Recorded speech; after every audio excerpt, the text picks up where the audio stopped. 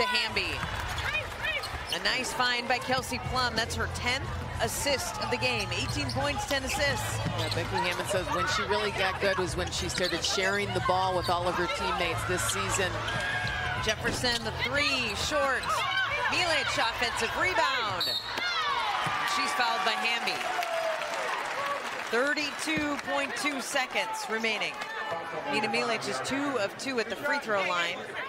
Lynx are down by 10.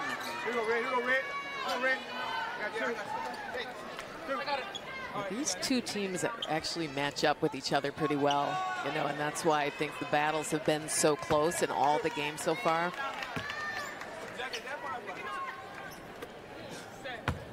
Well, Cheryl Reeve talked before the game about defense against Las Vegas, which a lot of teams do, but in the first meeting, Las Vegas scored 93 points against the Lynx. Second meeting, Vegas scored 96 points against the Lynx. Now tonight, 91 with Right. 32 seconds to go. You got to beat them with defense. You're not going to outscore them. Milic makes one free throw, so it's a nine-point Minnesota lead. Lynx led it briefly, 76-75. The kicked ball, they'll say kicked by Las Vegas. Minnesota basketball. And Moriah Jefferson right down to the last 20 seconds of this game, giving up her body, hustling, diving for balls. A 20-second timeout.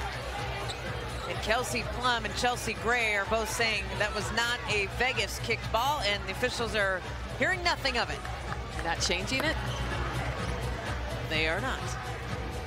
The Lynx took a, a one-point lead. It was 76-75 Minnesota. That was at the 5-14 mark, and since then it's 16-6 Vegas run.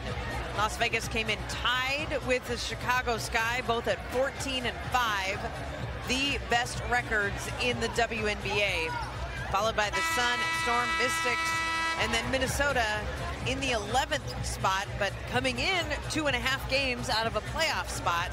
And the way this Lynx team has been playing over the last two weeks, everyone in that organization believes that when this season is over, the Lynx will be one of the top eight and get a postseason game at minimum. Yeah, that's that's what they're hoping for, and they definitely have the talent to do it. You just got to start racking up the W's.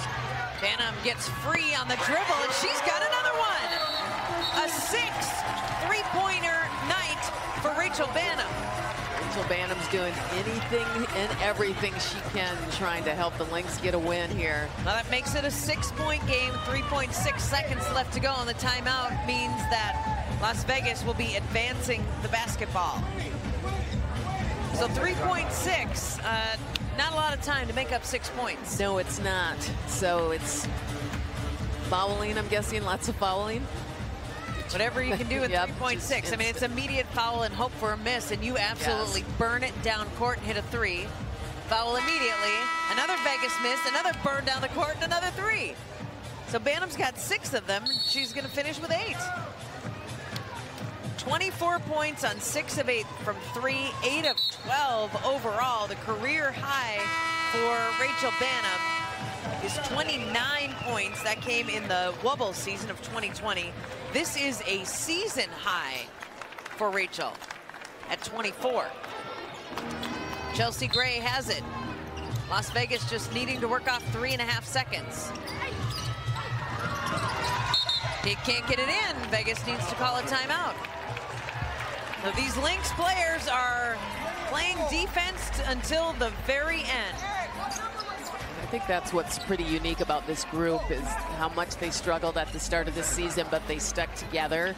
They haven't fallen apart, and then as they've been playing better and better basketball, it's like this group is, it's like they're ready to take that next step.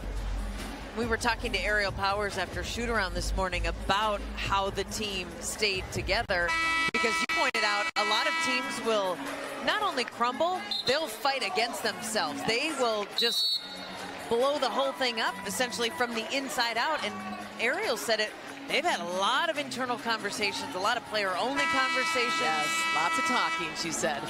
But you know what? That's what you have to do, and it, it, and it really takes W's to change things. And so once they started seeing that, they realized, like, okay, this is how we have to do it. This time Gray gets it in to Young and back to Chelsea Gray. They'll just hang on to it and the buzzer sounds on a six-point Las Vegas win. So the third consecutive tight game between these teams and unfortunately also the third time Vegas has won. We'll wrap up after this.